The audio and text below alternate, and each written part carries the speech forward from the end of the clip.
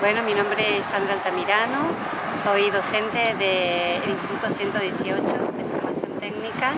Eh, doy materias primas y nutrición en la carrera de técnico superior de servicios gastronómicos.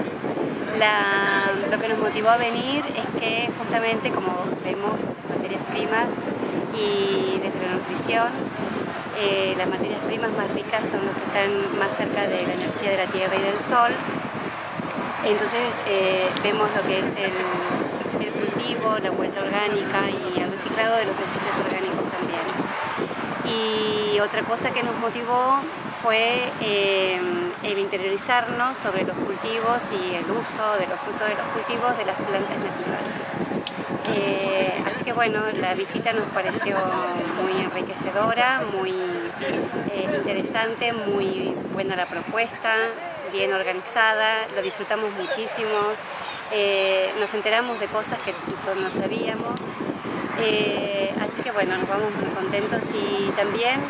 con el compromiso de,